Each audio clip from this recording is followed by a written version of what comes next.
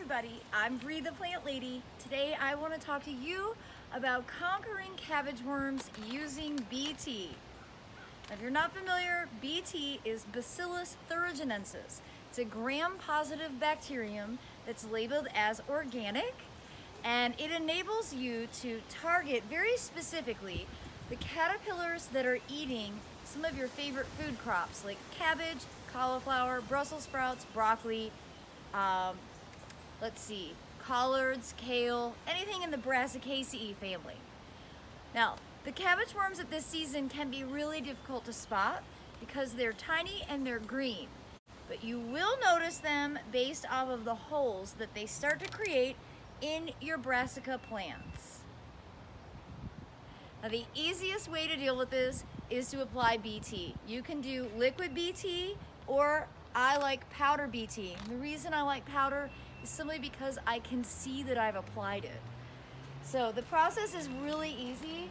I'm just going around gently, kind of scattering this powder around on all of the plants that are in the Brassicaceae family. So here I have a big row of cauliflower. On this side I have Brussels sprouts and cabbage. Up here I have broccoli and behind me, I have more broccoli. I'm gonna put this dust on everything and that's gonna give me some protection for the next, say, eight to 10 days. So here's the perfect example. I can tell that a caterpillar is here because look at the leaves are all deformed and eaten. And here are the caterpillars and there's two. There's a big thick one right here in the mid vein and then there's a baby and I can't control myself. I have to squeeze them. When I find them, I have to squeeze them. So the way BT works is really great. The caterpillars eat this bacterium and they feel full and then they stop eating and they starve to death.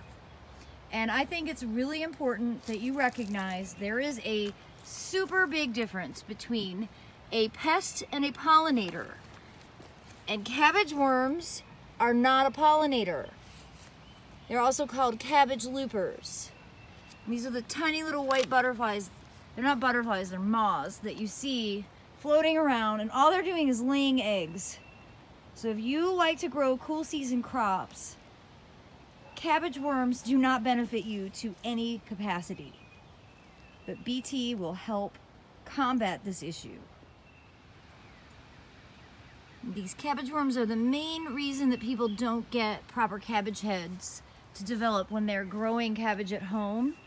And it's really funny how some plants in my garden are totally clean. Although look, I was saying that and look, there's a cabbage worm right there. Cute little broccoli growing as well. So you can see I grow a lot of brassica plants at this time of year in the spring. I actually grow them all winter long.